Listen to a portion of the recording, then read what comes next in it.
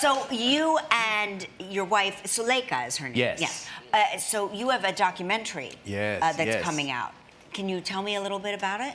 Okay, so it started out as a documentary about a symphony that I was premiering at Carnegie Hall last year.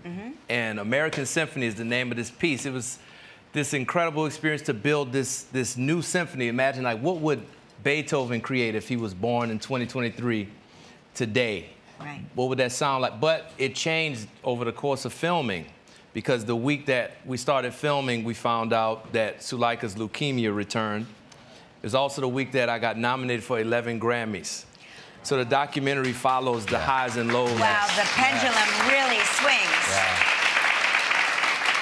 And it's just one of those things that it's, it's hard to really describe how it felt to capture it, but I'm so grateful that we decided to keep filming. Yeah. Yes. Because it's such a, a lesson that we learned watching how we navigated this, this time. And I think other people can take so much away from different aspects of it. Yeah. Well- How is she doing? She's doing a lot better. Great. I'm hearing a lot of I'm hearing a lot of great things.